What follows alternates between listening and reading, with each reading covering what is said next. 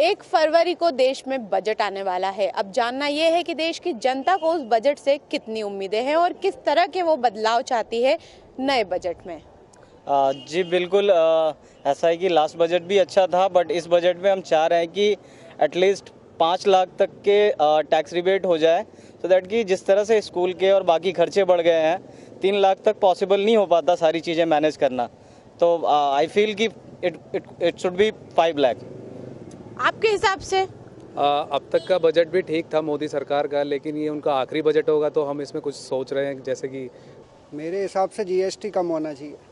और क्या क्या उम्मीदें आपकी इस बजट से? बाकी टैक्स स्लेब जो फाइव लाख तक बढ़ना चाहिए जो रिबेट होना चाहिए एम्प्लॉयज़ के लिए।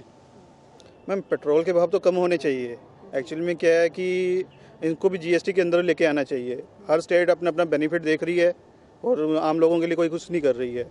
अगर जीएसटी में आएगा कम से कम एटलीस्ट हम कोई पर्सन होगा कहीं से भी पेट्रोल डलवा सकता है। अभी क्या है पेट्रोल डलवाने के लिए चंडीगढ़ में सेवेंटी पॉइंट रेट चल रहा है यहाँ पे सेवेंटी टू चल रहा है बॉम्बे में सेवेंटी फाइव चल रहा है कोलकाता में एट्टी चल रहा है ऐसे अलग अलग रेट चल रहे हैं। हो सकता है अभी इनको रेट को जीएसटी के दायरे में लाएँ और ताकि आम लोगों को इनको बेनिफिट मिले। जो। आम पर्सन के लिए यूजेबल हैं उनके रेट कम होने चाहिए। जैसे कि? जैसे कि, कि नेसेसिटी की बात बातें करें गवर्नमेंट ने कम कर दिए हैं रेट पहले तो हाई रेट रखे थे, कम कर दिए हैं। और भी कई चीज़ें हैं जो ज़रूरत की चीज़ें हैं। जैसे हम पेट्रोल की बात कर रहे हैं, ये भी ज़रूरत की चीज़ें हैं। इसको आम पब्लिक ही ज़्यादा यूज़ करती है सैलरी पर्सन ज़्यादा यूज़ करती हैं, क्योंकि वो बाइक पे आते हैं। या फिर गाड़ी कोई अफोर्ड नहीं कर सकता मिडिल क्लास से ज़्यादा गाड़ी अफोर्ड नहीं कर सकता। तो उनके लिए रेट हाई रहेंगे तो वो यूज़ नहीं कर पाएँगे। तो कुल मिला के इनका कहना यह है कि पेट्रोल के दाम कम हो जिस तरह से पेट्रोल के दाम बढ़ते हैं लोगों को अलग अलग तरह की परेशानियाँ आ रही हैं।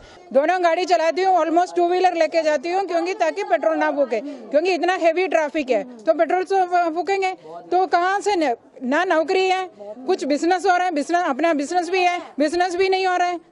तो हम कहाँ से कमाएँगे? सारे के सारा चारों तरफ़ से इन लोगों ने चारों तरफ़ से इन लोगों ने घेर दिया तो सारे का रेट बढ़ गया सब कस्टमर को दिक्कत हो रहा है वही कितने कस्टमर आ जाते हैं दिन भर में? पहले जैसे नहीं है पहले जैसे हाफ़ कस्टमर आता है। अच्छा। पहले एक दिन का पचास कस्टमर है तो आज पच्चीस कस्टमर है। तो जैसे कि आपने सुना कि कितनी परेशानी है पहले पच्चीस आ जाते थे पहले? अब आधे कस्टमर आने लग गए हैं पहले पचास आ जाते थे अब पच्चीस ही आ रहे हैं। तो सोचिए दुकानदारों को कितनी दिक्कत आ रही है। तो आप सरकार से क्या उम्मीद रखते हैं कल के बजट में? हम सोच रहे हो सबको हिसाब से चलना चाहिए। जी ये दालों के जो रेट बढ़े हैं जो पिछले साल से हम चाहते हैं ये कम हो जाएँ। हमारा थोड़ा ठीक हो जाए धंधा पानी इसलिए सही थोड़ा बजट हो जाए कम। पिछले साल से कितने बढ़ गए हैं दालों? बहुत ज़्यादा रेट बढ़ गए हैं दस दस पाँच पाँच रुपए सभी पे बढ़ गए हैं। तो दिन भर में आपकी कितनी बिक्री हो जाती है? वही दो ढाई हज़ार रुपये बस तीन चार सौ रुपये मुश्किल से कमा पाते हैं। तो ये दालें क्या रुपए किलो हैं बताएँगे आप कुछ? अभी तो फ़िलहाल साठ रुपये सत्तर रुपये इस भाव हैं। मोदी सरकार से हमें यही कहना है कि मोदी सरकार प्रत्येक परिवार में से एक आदमी को नौकरी ज़रूर दे। महँगाई के बारे में कहना है कि महँगाई बहुत ज़्यादा है। महँगाई बहुत कम होनी चाहिए और ये गुंडागर्दी ख़त्म होनी चाहिए जो कि बहुत ज़्यादा गुंडागर्दी मच गई है। जो महिलाओं के ऊपर अत्याचार हो रहे हैं ये ख़त्म होने चाहिए।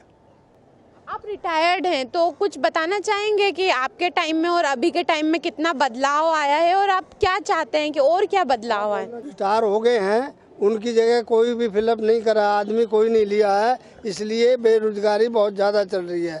जो जगह खाली पड़ी है चाहे कोई भी पोस्ट है, उस पोस्ट पे आदमी भर्ती नहीं कर रहे हैं। पूरी शॉप पे आप देख रहे हैं, पूरा मार्केट सूना पड़ा हुआ है। लोग खड़े हैं, एक दूसरे का मुँह देख रहे हैं सिर्फ़ और ढूंढ रहे हैं, सोच रहे हैं कि कोई तो कस्टमर आ जाए। कस्टमर भी कैसे आएगा? कुछ भी चीज़ लेने से पहले, खरीदने से पहले कस्टमर सोचता है। आज हम राजधानी दिल्ली के बाजारों में जा जाके एक एक दुकानदार से मिल रहे हैं और जान रहे हैं कि उन्हें कल के आने वाले बजट से कितनी उम्मीदें हैं।